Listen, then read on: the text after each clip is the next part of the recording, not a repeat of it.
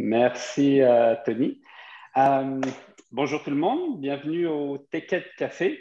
bon, on espère que vous allez trouver la rencontre stimulante, divertissante et éducative, comme tous les cafés qu'on fait à, à merci de vous être levé tôt aujourd'hui pour nous rejoindre.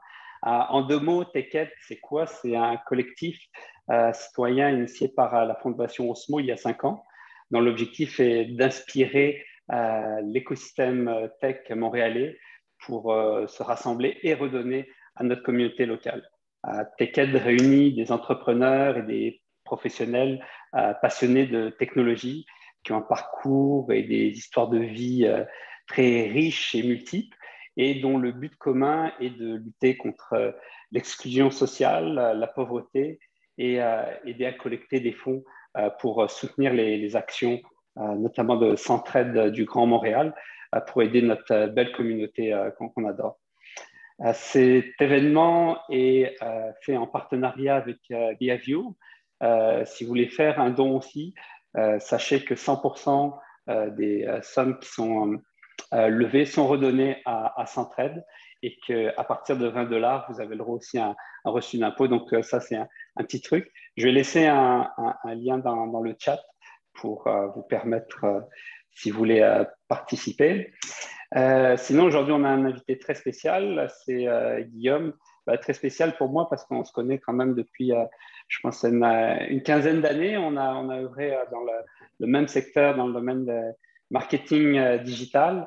je ne vais pas faire toute la, vie de Guillaume parce qu'il a quand même un, sacré parcours, mais pour ceux qui connaissent, c'est le fondateur de NVI qui a créé en 2004, si je ne m'abuse, euh, une très belle compagnie, une des plus grandes agences euh, en performance numérique euh, au Canada qui a été rachetée après en, 2013 par le groupe japonais Dentsu, un des plus grands groupes mondiaux.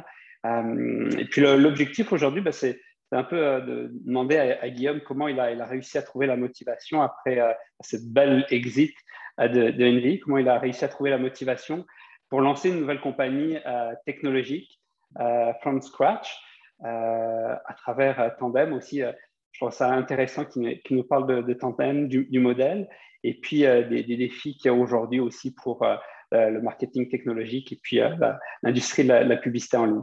Donc, bonjour Guillaume, merci d'être là. Et puis, ben, je, commencerai tout de suite par te donner la, parole, peut-être en, quelques lignes, nous, parler de ton, parcours euh, et qu'est-ce qui t'a amené aujourd'hui à, créer Contextful. Good. Ben, euh, moi, je suis un petit gars de Québec. Euh, j'ai passé 19 ans, la moitié de ma vie à Québec, la moitié de ma vie à Montréal. je suis en amour avec l'entrepreneuriat à 19 ans quand j'étais au cégep à Sainte-Foy. Puis il y avait des peintres étudiants, collège pro, puis il y avait du recrutement pour des, franchisés pour opérer sa propre entreprise. Euh, comme je suis beaucoup un autodidacte, j'ai été super intéressé par ça. J'ai passé cinq ans là-dedans. Vraiment aimé euh, d'apprendre à toucher à tout, le marketing, la comptabilité, les ventes, etc. Puis euh, j'ai déménagé à 19 ans au HEC, ben, pas HEC à Montréal pour faire HEC Montréal en management. Puis encore une fois, j'ai continué le parcours entrepreneurial. Puis mon dernier cours de mon bac, c'était de, de, lancer une entreprise. Fait que j'ai écrit un plan d'affaires complètement je veux dire, euh, ridicule, parce qu'à l'époque, on n'avait aucune idée de ce qu'on faisait, mais pour lancer une compagnie de, site web en 2004, euh, qui était une mauvaise idée aussi parce que on était juste après la bulle, toutes les compagnies de, web design euh, crevaient de faim. puis rapidement, après un an un peu tourner en rond dans cette compagnie-là, on a décidé de, faire du marketing numérique. je me suis ostiné avec mon partner comme quoi que c'était le, futur. Puis lui, il avait un background plus de programmeur. Alors, on ne s'est pas entendu, mais euh, à Noël, j'ai euh, décidé de commencer à optimiser le site web de, NVI. Puis on s'est ramassé premier sur Google sur le mot conception web. Puis à partir de là, ben, tout le monde a commencé à téléphoner euh, à, l'agence qui était en train de naître. Puis là, on a eu une croissance vraiment, vraiment rapide. Puis en 2008, cinq ans après la fondation, on était rendu une business quand même avec une belle importance. Puis en 2013, comme disait Laurent, euh, on avait une cinquantaine de personnes. Puis, dans le fond, on a les, Japonais Densu. Ben, dans le fond, ça s'est joué entre Densu, Omnicom et Cossette à l'époque, pour être très transparent. Je pense qu'on peut en parler huit ans plus tard, mais j'aimais beaucoup l'approche de Densu. Il était vraiment born digital. fait qu'on a rentré dans le groupe. Puis, j'ai fait un choix quand même assez risqué à l'époque. Euh, qui était de, prendre cinq années de earn-out, c'est-à-dire on a vendu la compagnie, puis pendant cinq ans, il fallait livrer des, meilleurs résultats pour aller chercher le, maximum du, euh, paiement. Euh, puis bon, on pourra rentrer dans le détail parce que je ne connais pas tes questions, mais bref, ça, ça a été vraiment un 13 ans super, super intéressant. Tu une business de service à l'échelle nationale dans un groupe international. Fait qu'il y a eu un 7-8 ans de NVI puis un 5 ans de iProspect. Puis après ça, je suis tombé en amour avec une technologie chez Tandem Launch euh, qui analyse les, senseurs non privés dans les téléphones. Fait que faire l'inverse de ce que le GAF a fait en gros, mais pour accomplir des objectifs euh, marketing similaires. Puis ça fait trois ans que je suis chez Contextful comme, euh, comme CEO. On a fait trois, levées de fonds. Puis là, on est en commercialisation de nos, deux, premiers, nos deux premiers produits. Un parcours vraiment de disons, trois entreprises distinctes, 4-5 ans de peinture, 13 ans d'une compagnie de services de marketing numérique à l'échelle nationale. Puis là, le, défi de développer un produit à l'échelle euh, internationale, même que nous, on s'est donné le défi de créer un nouveau signal dans, dans une industrie qui est hyper euh, crowded. Là, vous excuserez le, le aujourd'hui. Euh. Non, mais je, te demande, c'est assez intéressant, mais tu avais une business de service, tu avais une agence, euh, mais le, métier s'est quand même spécialisé au, cours des, années, puis la, technologie a pris de, plus en plus de, place. J'imagine qu'à NVI, déjà, euh, vous, avez commencé, vous aviez commencé à investir dans la technologie, puis tu as, vu le rôle que, ça joué. comment ça avait changé ton métier à l'époque? Ben, on a fait deux grands projets chez NVI de produits. Puis aujourd'hui, je regarde ça en rétrospect. On a mis 10-15 000 heures à peu près dans chacun des deux produits, qui étaient plus des outils pour mieux rendre le service. on avait créé une toolbar euh, qui, s'accrochait par exemple au browser, qui permettait de, récupérer toute l'information au niveau du SEO, de toutes les, API qui existaient à l'époque pour être capable d'aller beaucoup plus rapidement à acquérir des liens. Euh, qu'on avait appelé Lynx, Lynx, avec comme l'animal. Puis, euh, à un moment donné, on a vu que Ravenstool a sorti une solution qui était bien plus avancée parce qu'il faisait que ça. Puis, on avait développé aussi un outil en 2008, ça c'est assez précurseur, qui s'appelait Cloud CMS. Quand on a commencé à entendre parler de cloud, on avait Microsoft comme client. Fait que j'ai tagué tout de suite un CMS qui était un CMS tout avec des URL réécrits. On a bien en avant de son temps. Puis à partir de là, ben, trois, quatre ans plus tard, WordPress est arrivé. Il y avait euh, Jules Deval qui a fait tout le plugin euh, SEO. Bref, euh, ça a été vraiment intéressant de faire ça, mais j'ai réalisé à l'époque que je ne pouvais pas faire les deux. C'était pas. Je parle souvent des entrepreneurs qui veulent faire une business de service puis on décide bâtir un produit. Je trouve que c'est une excellente mauvaise idée. C'est-à-dire, si on veut avoir du succès dans, dans un produit, c'est faire que ça, puis essayer de s'entourer de gens qui l'ont qui l'ont déjà fait ou en tout cas qui ont une aspiration de ne faire que ça. J'ai trouvé ça très difficile d'avoir avoir une équipe un peu parallèle qui supporte, euh, même si c'était des outils internes, mais qui supporte un produit qui, finalement n'a jamais réussi à commercialiser à part pour utiliser pour, euh, pour nous-mêmes. Ça, ça a été un gros learning. Puis euh, la bascule un peu de dire OK, là, on lance un produit chez Contextful était un peu la, logique de ne pas avoir une entreprise qui faisait, qui essayait de, de mal faire deux choses en même temps. Et, qu'est-ce que. Donc, je parlais de, tandem. Euh, est-ce, que, tu pourrais en, dire quelques mots et qu'est-ce qui t'a poussé à, créer ta compagnie avec eux? Oui, ben pour moi, Tandem, je vois ça comme un triple tandem. Euh, ils ont un Technology Transfer Office très euh, solide chez Tandem Launch, des partenariats avec des centaines d'universités. Puis, il, développe tranquillement des, expertises dans certains domaines. Fait pour moi, ça, c'est le premier tandem, le tandem launch l'incubateur euh, avec les, universités. Euh, fait que ça, c'était le premier truc que je trouvais. Omar qui travaille là-bas est super, euh, super compétent dans, tout ça. Fait que ça, pour moi, je trouvais ça super intéressant de me dire OK, on va développer une techno, mais on va au moins l'asseoir sur des brevets, une expertise pointue, etc. Le deuxième tandem, c'est qu'ils mettent deux entrepreneurs en résidence ensemble, un gars plus techno, techno puis quelqu'un souvent plus produit business. Ils leur donnent 800 000 puis ils leur disent ben, Bonne chance, monte-toi une petite équipe, travaille dans ce secteur d'activité-là, avec les brevets en conséquence, analyse 50, 100, 200 brevets, trouve ceux qui t'intéressent. Puis après ça, bâtis ce que j'appelle un MVT, Minimum Viable Technology. Puis euh, à partir de là, le troisième tandem qui arrive, c'est qu'ils prennent un CEO puis le parachute dans l'entreprise qui a souvent 5-6 personnes. Puis à ce moment-là, ben, moi qui ai été parachuté dans, l'entreprise, ben là, c'est, tu tombes dans un mode que j'appelle survie, là, où est-ce qu'il reste 100 000, 200 000 dans le, compte de banque. Fait que moi, quand je suis arrivé là, on avait tout le temps trois mois de runway. Fait que monte un safe par après de 300 000. Moi, j'ai mis à peu près 300 000 aussi. Je n'ai pas pris de salaire pendant un an et demi. Mais bref, ce que j'ai beaucoup aimé de Tandem Launch, c'est que j'ai vu comme l'opportunité de faire cinq ans d'une startup en à peu près un an. Où est-ce que je suis arrivé avec quelque chose qui était déjà en motion, un minimum viable technology qui cherchait un marché, qui cherchait euh, une destination et qui est souvent un peu l'inverse. Habituellement, on part d'une problématique. Dans ce cas-ci, on partait d'une technologie.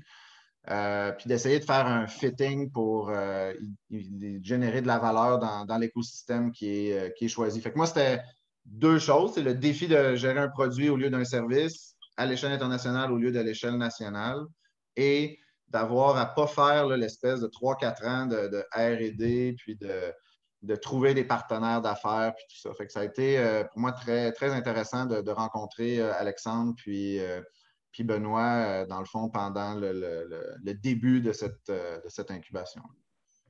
Pour utiliser le, terme français que tu utilisais tout à l'heure, l'univers de technologie marketing est très crowded, dans la publicité aussi.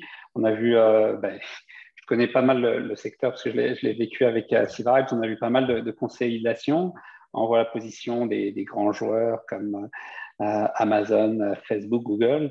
Quelle, place tu penses qu'aujourd'hui une startup peut avoir dans, ce domaine-là? Ben, je pense que le, plus important, mon plus grand apprentissage des trois dernières années, on va parler de AdTech spécifiquement, moins de MarTech parce que je connais moins cette industrie-là, mais en tech, on ne peut pas arriver au marché avec une, innovation qui est incrémentale. On, doit absolument débarquer avec quelque chose qui est complètement champ gauche, quelque chose qui vient vraiment révolutionner ce, qui, est, déjà en place. un exemple simple, il y a beaucoup d'outils pour acheter de, la pub, qu'on appelle des DSP. Ben, il y en a 200, 300 finalement, tout le monde dit qu'ils sont uniques, mais la réalité, c'est que euh, c'est pas mal toute la même maudite affaire, puis le GAFA est déjà bien installé à faire ça. Fait que l'idée de, base, je dirais, qui a été mon plus grand apprentissage, c'est de dire il faut absolument trouver quelque chose qui est vraiment unique, qui va déranger ce qui est en place. Ça ne veut pas dire nécessairement que c'est nous qui va commercialiser ça à l'échelle internationale. Peut-être qu'à un moment donné, on va se faire accrocher par euh, un joueur, un incumbent qui est en place. Mais ça a été un petit peu ça le mindset dans ce qu'on a fait. Fait je dirais qu'une startup, pour se différencier, doit trouver quelque chose aussi qui n'était peut-être pas technologiquement faisable euh, dans les années auparavant. Fait si on prend l'exemple de Contextful, l'analyse de senseurs non privés, comme le gyroscope, l'accéléromètre, puis tout ça, en temps réel pour avoir un impact sur la publicité, c'était même pas quelque chose que les téléphones étaient capables de faire il y a 5-6 ans. Bon, on arrivait dans une fenêtre où que technologiquement, ça faisait du sens de le faire. On avait assez de, GPU pour être capable de faire ça. La deuxième chose, c'est euh, on a décidé d'inventer un signal dans une industrie qui, ça faisait longtemps qu'il n'y avait pas de signal pour le, mobile. forcément, nos senseurs sont présents dans les, tablettes puis les, euh, les, téléphones. Puis aussi, l'invention qu'on a vient pas du monde de la pub. Ça a été inventé par des physiciens. Euh, fait ça aussi, c'était quelque chose d'intéressant. On arrivait un peu le fil avec une technologie. on a rencontré Gartner il y a deux, trois semaines qui nous disait qu'on était, qu'on avait vraiment un beau positionnement, qu'on était un petit peu en avant de, notre temps, qu'on avait déjà la réponse au cookie-less euh, environment. Fait que, souvent, c'est ça qui arrive. Quelque chose vient déranger euh, quelque chose qui est en place. Ça n'a pas nécessairement été inventé par les gens qui étaient, euh, qui déjà en place parce que souvent, tu as des, certaines œillères. Puis moi, c'est ça que j'ai trouvé le fun quand je suis arrivé dans, chez Tandem Launch. Les gars n'étaient pas des gens de publicité comme moi, j'avais vendu de la pub. Sauf qu'il y avait quelque chose entre les mains qui était super intéressant. Fait que ça a été de transformer un peu le, la technologie puis de l'adapter euh, au, monde du, euh, du. Mais euh, là, je t'avais posé la, question, je veux dire, après près de 15 ans de, NVI, tu as accompagné, puis tu as, fait un exit. comment tu as trouvé la motivation pour, pour te relancer dans, dans, une compagnie? Parce que tu sais que ce n'est pas évident. En plus, dans la technologie, quand tu es, es, en avance, tu dois trouver ton, ton marché. et des fois, c'est plus facile de se dire, bon, OK, je, je, je vais me poser, je vais peut-être investir, coacher des, des, compagnies, mais où tu as trouvé la motivation pour te dire, il faut que je me relance euh, parce que j'ai ça en moi? Ben, il, y a, deux, trois choses. Je me souviens que je donnais une conférence. Euh, ça, c'est drôle. Il y a un peu de peer pressure, vous allez comprendre un peu. Je donnais une conférence avec Andrew Molson à peu près, euh, je vais avoir, il y a sept ans, juste vers la fin de, ma, de, la, vente de la compagnie. Puis moi, je faisais une blague en disant que c'était Liberté 35. J'aurais pu arrêter de travailler effectivement à, à 35 ans. Puis euh, le, thinking était que, tu sais, Andrew m'a regardé, puis ben, j'étais comme, ben oui, je vais m'impliquer peut-être plus dans, en philanthropie euh, des OSBL, nan, Puis il était comme, tu sais, tu es un entrepreneur, tu devrais continuer de, de, faire grandir, tu sais, le, le Québec. Puis, tu sais, je dirais, il y a, trois, quatre choses qui m'ont motivé. La première chose, c'est que c'est sûr que quand tu es entrepreneur, puis forcément entrepreneur en série, tu as ça un peu, euh, un peu dans le sang. Euh, puis j'avais, envie vraiment de, faire quelque chose qui était construit à la base euh, au Québec. Tout le financement de Contexto a tout été fait euh, localement malgré, je dire, certaines difficultés et le, manque d'appétit de, de, VC, même avec quelqu'un comme moi qui avait un, exit pour, pour investir. Mais la première motivation, je pense que c'est un peu là, de quand tu es entrepreneur, tu veux tout le temps lancer un défi plus grand. Euh, d'un business de service national à un produit international, c'était deux grandes marches. J'avais peu d'expérience en produit, puis je m'étais dit que j'avais envie, comme CEO, d'avoir fait une, business de service qui a eu du succès, puis idéalement une business de produit aussi. Fait que ça, c'est une première source de motivation. Euh, la deuxième, euh, mon, rêve, j'aime beaucoup l'eau en général. j'ai un voilier, puis des, des, cossins comme ça, bateau de pêche, plein d'affaires. Puis j'avais vraiment, j'ai vraiment envie d'avoir un impact sur, euh, sur les coraux dans les Caraïbes. Il y a comme 80% des coraux qui ont disparu. Puis je me suis dit que si je voulais influencer un paquet de gens euh, qui ont trop d'argent à, s'occuper de cette problématique-là, qui fait vivre quand même un, milliard de personnes, ben, ça serait le fun que j'aie un peu plus d'argent que ce que j'ai maintenant. oui, j'avais sécurisé le patrimoine familial, mais j'étais loin de pouvoir euh, saupoudrer des, millions à gauche, à droite pour faire des bonnes œuvres. Fait que je me suis dit, si j'avais une deuxième business qui, avait beaucoup de succès, ben, je pourrais intéresser assez de gens euh, qui pourraient philanthropiquement hmm. vouloir euh, établir une base peut-être scientifique, un éco-centre, puis faire quelque chose dans, les Caraïbes. Ça, c'était une deuxième euh, motivation. La, troisième, je dirais, c'est j'aime vraiment ça m'entourer des, gens. Puis c'est drôle que tu parlais de coaching, etc. mon travail se résume en trois trucs. J'ai cinq compagnies pour qui je fais de la planification stratégique que j'encadre, des, des, business euh, comme République, qui est une entreprise de contenu, mm. qui est une agence que j'ai vraiment du fun à travailler avec eux. Fait que je voulais rester proche de l'équipe de management. Fait que ça, je fais ça comme euh, c'est 5% de mon temps. J'ai une autre entreprise qui a été relancée par mes anciens seniors de, NVI qui s'appelle Flair Stratégie, dans lequel je joue un rôle de chairman puis de BizDev, qui est un autre 5% Puis je dédie 90% le, cœur de mon énergie là, dans Contextful. Mais je me suis ramassé à, continuer de travailler dans mes trois passions, le management, l'entrepreneurship puis euh, le marketing numérique. Mais je pense que les trois trucs qu'ils ont en commun, c'est de travailler avec du talent, travailler avec du monde qui te rende meilleur. Ça, je pense que, tu sais, euh, je ne serais pas capable d'être juste consultant un peu externe à faire des, des off-sites. Euh, j'ai vraiment besoin de sentir que j'ai une équipe, bien que je dirais aujourd'hui, euh, avec le stress puis le poids qu'amène le travail de CEO, je ne suis pas certain que je vais redevenir CEO après euh, Contexto, peu ah. importe la, durée que ça a. Quand j'ai signé mon contrat à peu près en, en avril-mai, je me souviens exactement du moment où j'étais chez moi assis sur ma table de cuisine. Puis c'est vraiment, là, j'ai eu mal au dos.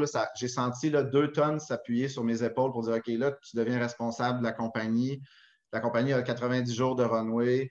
Il y a 5-6 personnes qui comptent sur toi. Il y a des gens qui ça fait deux ans qui travaillent à, rendre ça viable. Ce burden-là de CEO, c'est 90% de mes cheveux c'est vraiment pas quelque chose que, d'évident pour vrai. Tu la dernière barrière dans une entreprise, peu importe la taille, là, à trois, employés ou 100 employés comme j'avais avant. Fait que ça, je trouve que c'est un. Autant que c'est rewarding, euh, c'est significant, c'est aussi un, défi vraiment euh, de, tous les, de tous les instants. Fait que...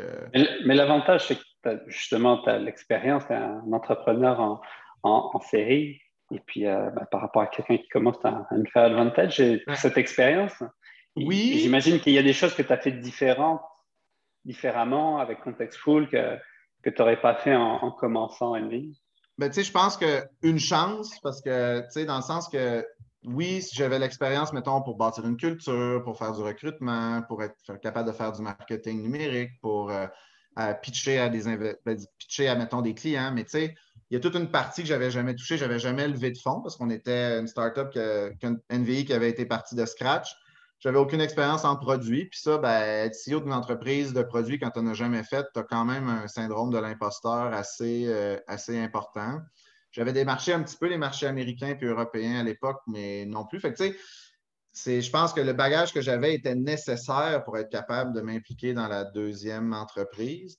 Mais euh, c'est, vraiment pas, euh, je trouve vraiment pas ça évident parce que tu avais quand même énormément de, blind spots euh, dans, dans, cette approche-là. Mais tu sais, je pense que c'est ce défi-là. Je pense qu'on carbure tous un peu au défi. Puis c'est ça qui m'a, euh, donné cette, euh, cette modification-là. Puis d'avoir une, compagnie technologique québécoise avec des employés québécois financés au Québec, ça pour moi, c'était vraiment, euh, c'était vraiment important. Puis en plus, on est dans une, section de, de, l'industrie qu'on essaie de développer quelque chose qui qu'on offre à tous les joueurs sauf aux GAFA.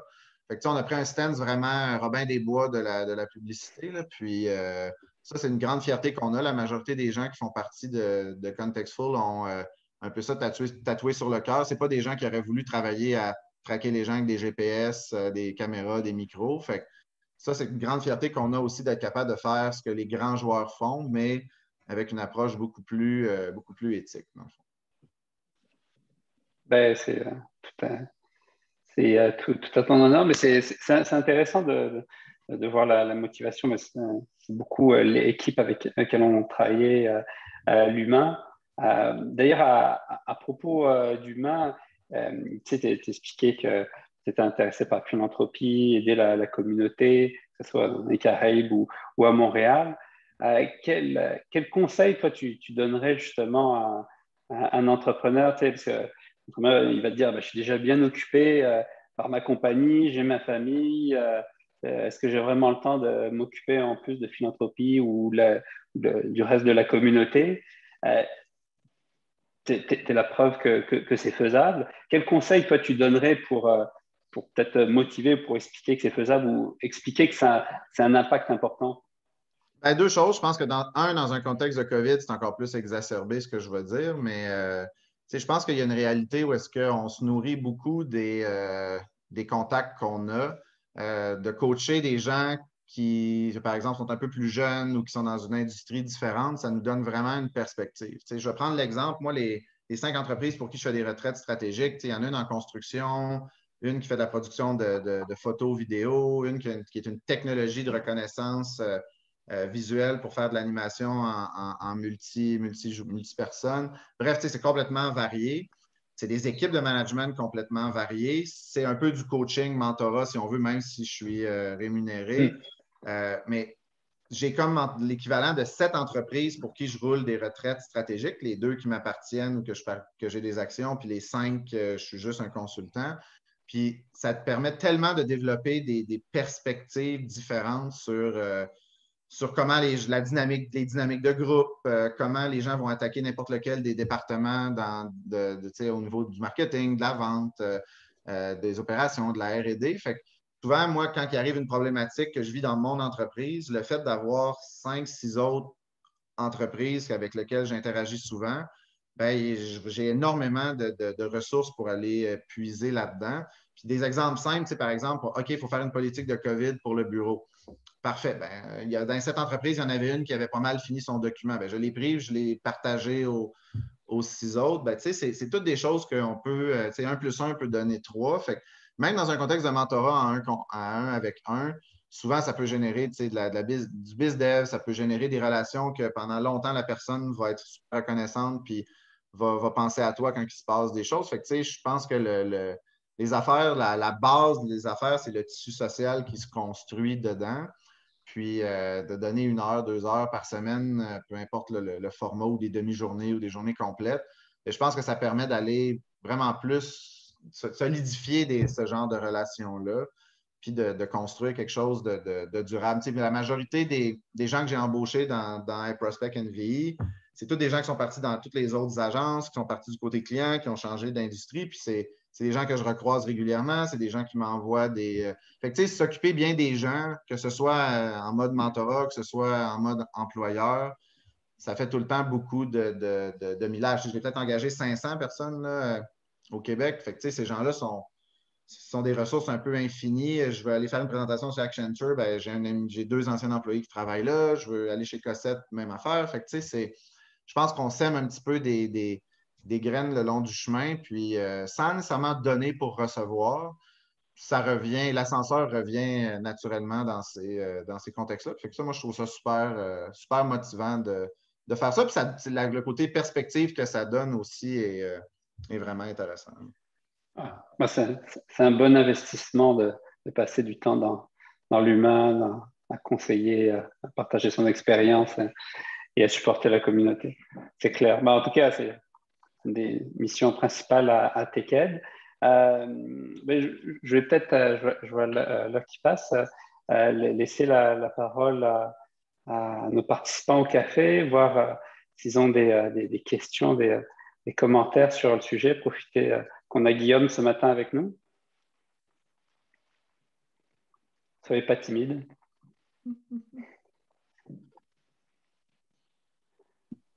Salut Guillaume. Euh, je suis vraiment contente de t'entendre, puis c'est un sujet qui m'intéresse beaucoup. Euh, je travaille chez Main, donc on travaille beaucoup à fédérer l'ensemble des gens qui aident les startups, puis sur l'aspect plus écosystémique euh, de notre, de, du succès de nos startups. Puis un des concepts qui occupe beaucoup mon esprit en ce moment, c'est justement, je pense qu'on ne pourra jamais avoir un écosystème sain et qui augmente en vélocité sans des gens comme toi qui choisissent après une sortie de continuer à s'impliquer, de, de, bâtir des startups qui vont encore plus vite, puis de faire du mentorat.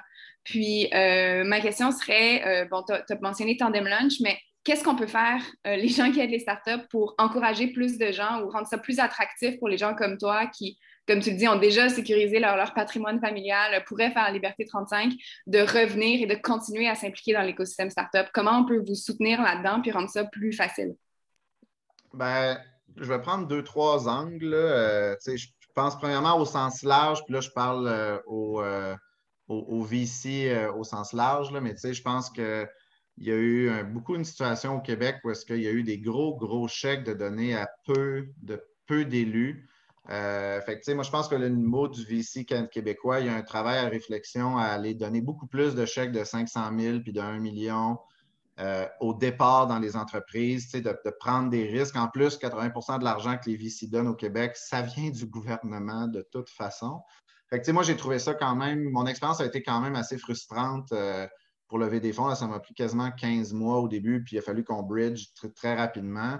Puis on s'est fait dire non par des, que je nommerai pas, là, mais des fonds très connus ici, qui eux ont été bien pressés de donner 100 millions à Element ou à des compagnies comme ça. Fait que c'est sûr que moi, je trouve qu'il y a comme deux discours au Québec.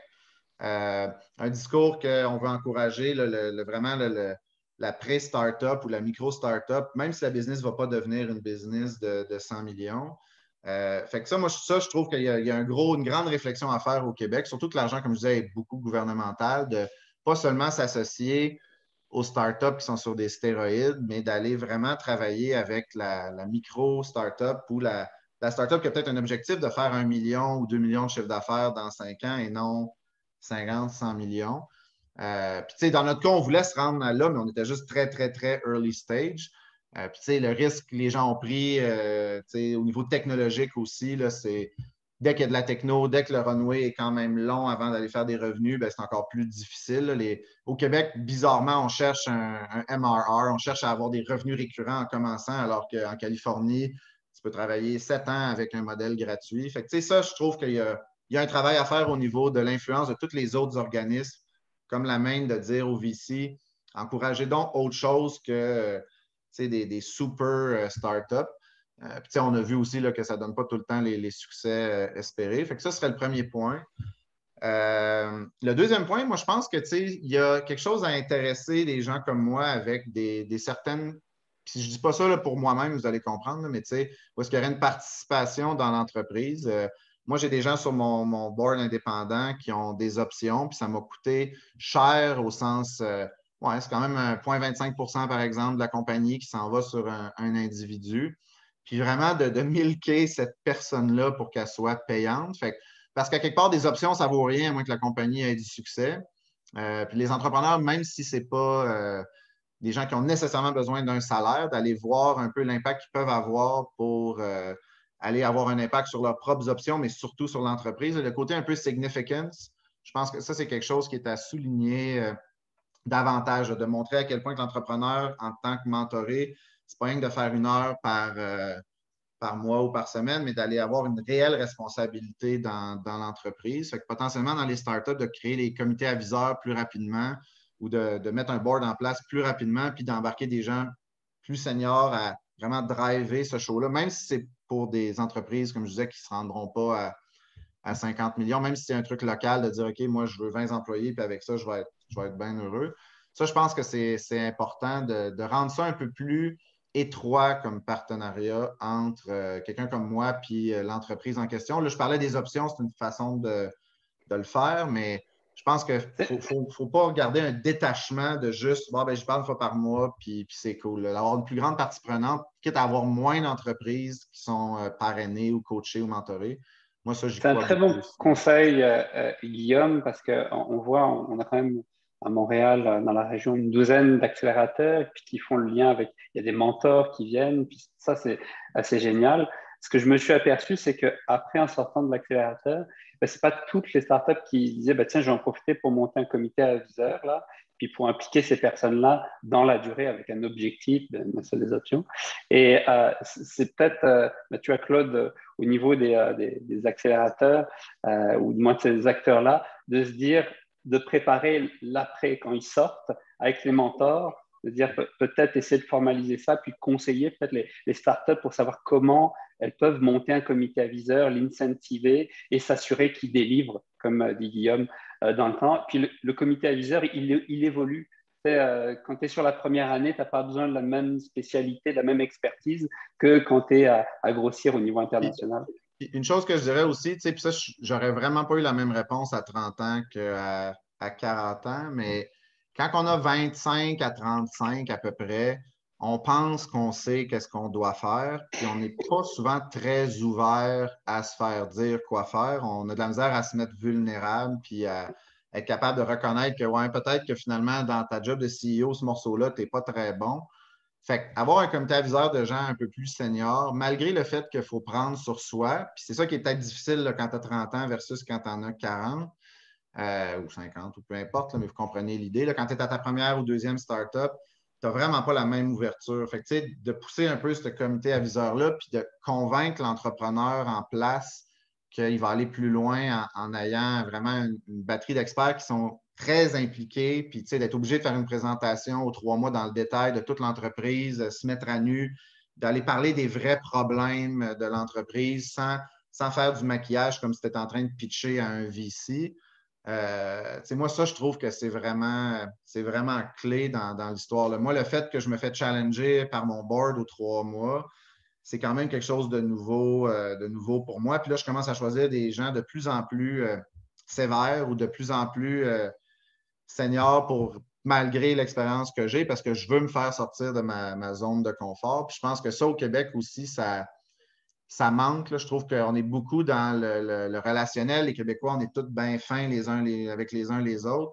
Je trouve que des fois, ça manque un peu le, in your face que tu aurais à, Wall Street puis, ou dans la vallée. Fait je pense que d'avoir une, lecture, on est bon pour s'encourager, mais on n'est pas très bon dans le feedback difficile, constructif, facing the brutal facts. Ça, je pense que souvent, on, on passe à côté de la traque de par un peu notre nature euh, bienveillante, les Québécois. Fait que je pense que. Un très bon conseil. Aller chercher ça, ce serait une bonne idée.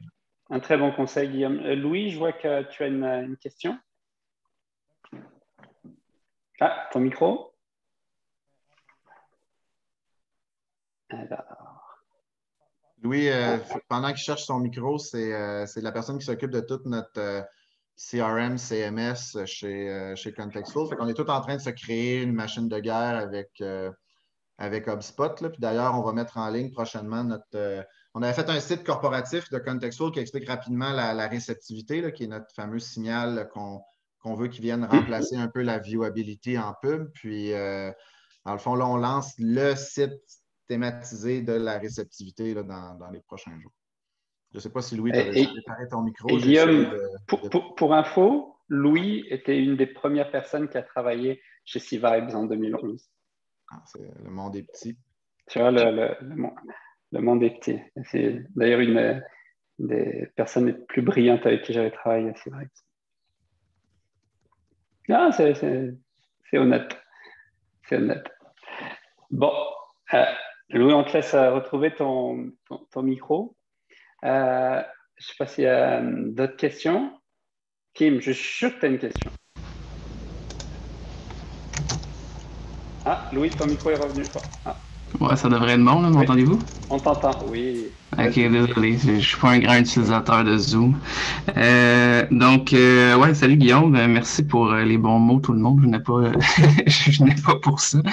Euh, ouais, dans le fond, moi, ma question, Guillaume, c'est, j'ai bien aimé quand tu as parlé de, tu sais, comme tu disais, tu avais une business de service avant, puis vous avez essayé de faire des produits en parallèle et tout ça. Puis, ben, comme Laurent le sait, je suis en train un peu d'essayer euh, bon, mon micro est un peu trop fort, désolé. Je vais me reculer. Euh, donc, euh, ouais, c'est ça. Je suis en train d'essayer d'un peu faire la même chose, de partir une business de produits en même temps que j'ai une business de service. Puis, je, je l'ai tout le temps senti comme étant une mauvaise idée. Puis, tu viens de me le confirmer. Mais euh, on dirait que quand tu es entrepreneur, tu as quand même le goût d'essayer des affaires. Comme, comme tu as dit aussi tantôt, être entrepreneur puis être CEO, tout le poids de la business est un peu sur tes épaules. Fait au moins, il faut que tu puisses bénéficier du fait que, bon, quand ça te tente de faire quelque chose, euh, c'est le fun de pouvoir essayer des affaires. Puis là, de, ce temps-là, j'ai le goût d'essayer ça, de faire des produits. Fait euh, je me demandais aussi un produit n'est pas seulement juste pour le vendre. Moi, je suis plus dans une optique où mon produit pourrait être un genre de free, mais ça me génère des leads pour ma business de service, des genres de, de modèles comme ça. Euh, je sais pas ce que tu penses de ça? Est-ce que c'est tout le temps une mauvaise idée sur toute la ligne tout le temps ou dans certains cas, ça pourrait être une bonne idée? Ma réponse un peu pragmatique, c'est que c'est vraiment une question de, focus. Fait que, un exemple simple, si j'avais refait une VI, que je voulais avoir un produit, mettons la toolbar que j'ai créée, puis que ça devienne un succès, ben, c'est vraiment de créer deux équipes. Fait que, dans le sens que si tu trouves tu as un partner, par exemple, qui lui est trip dans la business de service ou tu as un genre de managing director que tu peux mettre en place, que toi, tu es impliqué moins que cinq heures par semaine dans ta business de service, puis t'en vas lever des fonds dans la business de produits, peu importe c'est quoi son, son outcome. Là, tu parlais d'un modèle un peu pour générer des leads. Pour moi, si c'est ça, ben, je te dirais c'est une stratégie de lead gen marketing. Tu veux-tu mettre autant d'énergie? Peut-être juste te mettre sur mute. Euh, oui. Juste moi, c'est bon. Euh, c'est ça. Fait que, moi, je dirais tendance à dire que le, baseline, c'est le focus. moi, le problème de Link, c'est que j'ai mis deux, trois développeurs là-dessus. Ça occupait notre esprit. Euh, fait ultimement, je n'étais pas en train d'être le meilleur sur mon X à m'occuper d'NVI pendant ce temps-là. Si j'avais voulu, par exemple, que ça fonctionne, j'aurais pu carver ça out et dire OK, on, euh, on, va lever des fonds à l'externe, que ce n'est pas la machine de service qui, qui génère les résultats parce que, entre autres, puis ça, je pense que c'est important de le comprendre, euh, c'est euh, l'argent que ta business de service fait, elle devrait être réinvesti à grossir ta business de service. si tu mets dans ta business de produit, tu dilues un petit peu toute ta capacité à devenir le meilleur dans ce que tu fais dans ta région. Fait, fait moi, c'est plus de, créer vraiment une division claire. Puis toi, tu vas difficilement pouvoir faire les deux en même temps. si je prends mon exemple, le cœur de, ce que je fais 95% du temps, c'est m'occuper de Contextful, la business de, service qui est dans le fond NVI 2, si on veut, qui s'appelle Flair Stratégie. Ben, cette business-là, ce n'est pas moi le, président, c'est pas moi les deux associés principaux. Je suis en périphérie, il y a des gens en place, ça roule tout seul, je me fais frapper par un boss, OK, ils auront moins de leads, ils auront moins de conseils de, de gars avec des cheveux gris, mais euh, à la fin de la journée, ils peuvent continuer leur entreprise, sont indépendants. Fait je pense que c'est cette logique-là qui doit être respecté dans, dans ce que tu fais. Il y a probablement moyen que tu trouves un genre de managing director dans Auxilio qui, lui, pourrait faire monter la shop pendant que toi, tu vas travailler là-dedans. Euh, mais tu sais, tout le temps de poser la question aussi pourquoi tu veux une business de produits? Tu sais, comme là, tu as l'air un peu de dire ah, ben, je m'en servirais pour des leads. Ben, OK, mais si tu mets la même énergie dans un plan marketing vraiment sur la coche, tu vas te générer autant de leads pour moins cher sans être obligé d'avoir à pomper du cash à l'infini là-dedans? Fait que tout le temps qu'on peut le start with why, moi, à l'époque de faire les outils de, dans NVI, c'était pour faire notre job plus rapidement. J'avais 30 gars qui faisaient du SEO, 30 gars qui faisaient du link building. Puis, euh, puis là, je viens de voir Nicolas Cossette, qui est un ancien de NVI, qui vient de, joindre à nous. Mais tu vois, ça, c'est un bon exemple parce qu'on s'est dit, ben, si on a cet outil-là, ça va prendre 20 gars au lieu de 30, on va être vraiment plus profitable. On va pouvoir scaler la business de service plus vite. On pensait pas nécessairement commercialiser le produit à l'extérieur, mais en faire un avantage compétitif à, à l'interne. Fait on s'était quand même posé la question un petit peu plus sur pourquoi qu'on faisait ce produit-là. Même affaire avec le CMS qui avait des URL réécrits pour le SEO, parce qu'on vendait du web à l'époque, on était capable de dire, ben, on est une shop, de, on construit le site web, on fait le marketing, notre CMS est vraiment solide, blablabla. Euh, bla, bla. Fait il y avait un purpose en arrière de ça.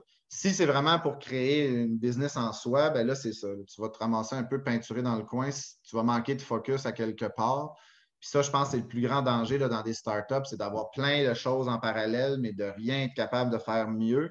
Puis tu sais, le, thinking que j'avais lu, je ne me souviens pas où, là, dans quel livre de management, mais l'objectif de n'importe quelle startup, c'est de devenir les meilleurs au monde dans leur géographie choisie à faire une chose. Fait que, dans, dans le cas de Contextual, on se dit, OK, on veut faire le meilleur signal qui, qui témoigne de l'attention d'un humain avec son appareil mobile lors de l'affichage publicitaire.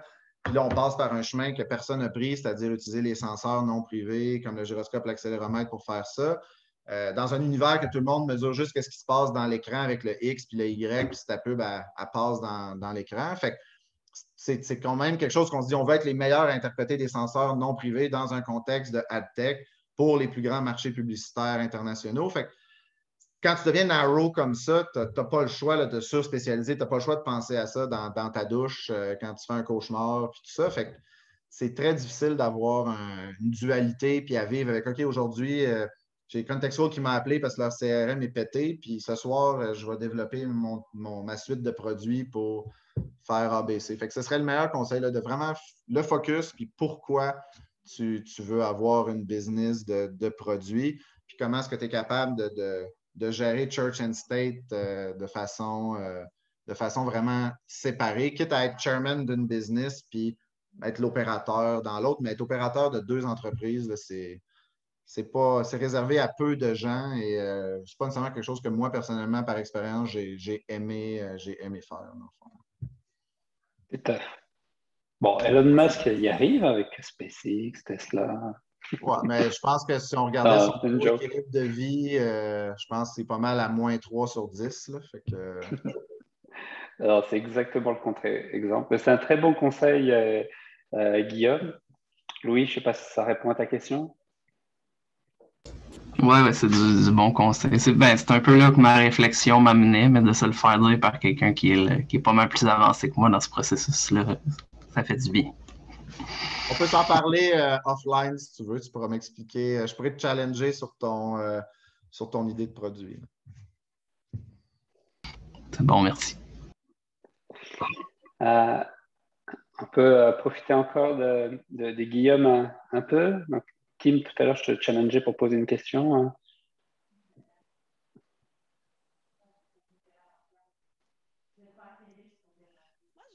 Euh, euh, j'ai une question. Est-ce que je peux. Ah. ah. Ben non, vas-y. Moi, ma question n'est pas si importante que ça. Non, non, non, allez-y, allez-y. Je me excuse. Allez. C'est en premier, puis on va aller avec Kim après. OK, ça marche. Euh, donc, euh, merci Guillaume, beaucoup de bonnes informations aujourd'hui. Une petite question pour toi. Nous, on est euh, en, phase MVP en ce moment. on se pose beaucoup de questions sur le marché, sur le meilleur endroit où aller. On vise éventuellement le marché nord-américain en, gros, mais on se pose des questions sur le, petit marché où on va s'implémenter en premier pour tester, etc. C'est un, marketplace qu'on est en train de bâtir. Est-ce que tu as des conseils sur est-ce que le, premier marché où tu vas, j'entends deux, conseils différents. Il y en a qui disent vas-y dans le, marché où tu veux viser à grandir. ou, ou d'autres disent vas-y dans un marché où tu ne te vois pas grandir après, où, tu, vas, faire des erreurs au début, il n'y a pas de problème, comme ça tu peux passer à un autre marché après. Est-ce que tu as des idées là-dessus? Ben, oui, je vais utiliser les deux expériences que j'ai eues. J'avais lu aussi dans un autre truc de management quelque chose de vraiment intéressant.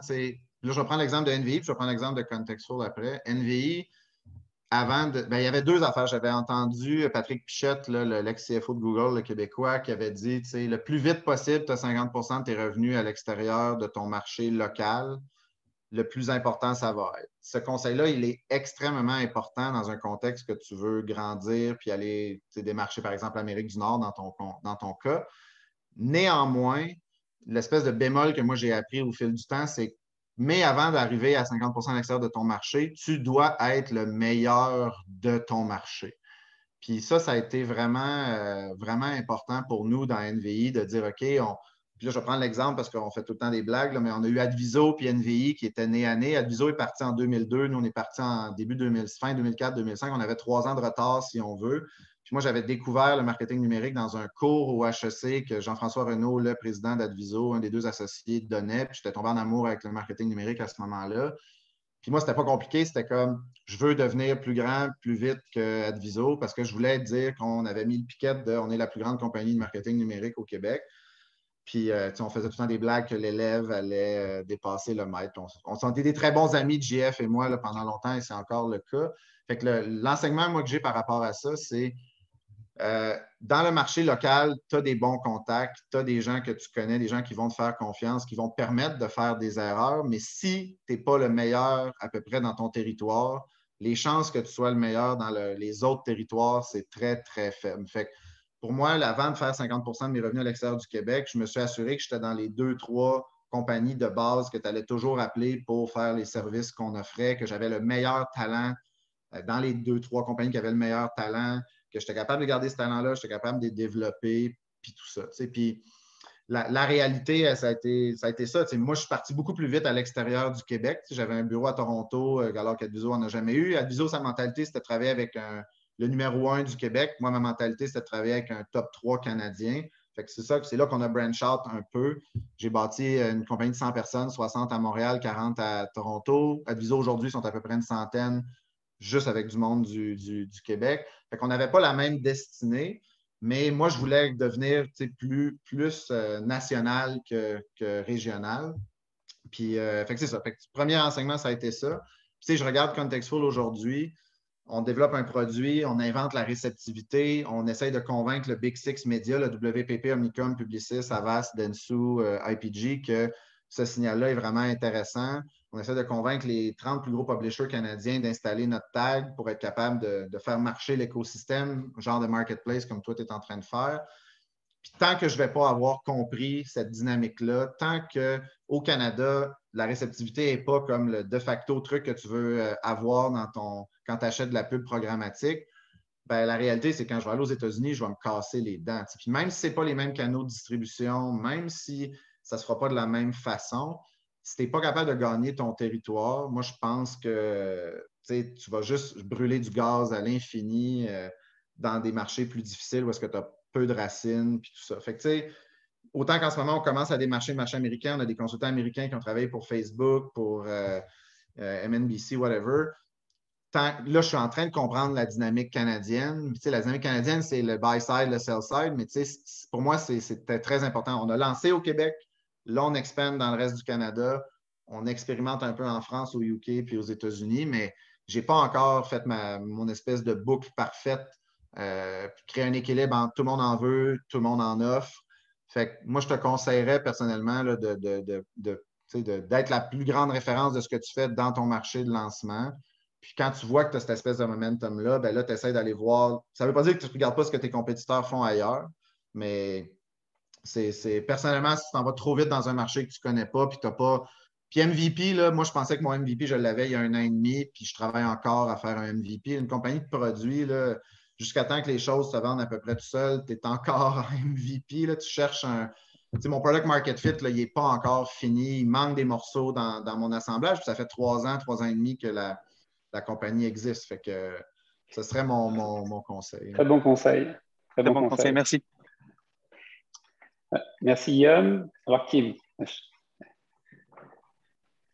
Ben, moi, c'était plus, euh, tout à l'heure, euh, vous avez parlé de liberté 35 et tout ça. Moi, je suis plus, je suis plus vieille. Puis justement, tu sais, on, on, trouve que... et on trouve que, tu sais, un peu le aging, tu sais, que justement, que quand tu arrives, puis tu es plus vieux, puis que tu veux faire des comment tu es moins perçu comme euh, étant innovateur, puis tout ça. Alors que c'est pas, pas vrai, parce que justement, tu amènes un autre savoir, puis tu vas, comme vous disiez tout à l'heure, euh, le market fit, tu, te rends compte que ça prend du temps pour le trouver, puis il faut que tu comprennes bien, surtout euh, les marketplaces. Moi aussi, je travaille avec des clients qui ont un marketplace. C'est complexe parce qu'il y a beaucoup d'éléments comment est-ce qu'on pourrait, justement, quand on parle de l'écosystème, changer ça pour que cette perception que c'est juste les jeunes qui peuvent faire des pouces qui montent? Ouais, ben, ben, Comment valoriser les cheveux blancs, quoi? Oui, ben moi, je l'ai vécu. Là, euh, j'ai essayé de lever de l'argent à 37 ans avec un exit euh, dans les, huit chiffres. Puis euh, je me suis fait dire non par 80% des VC québécois parce que ah, on n'aime pas l'industrie. On adore l'équipe de management, on n'aime pas l'industrie.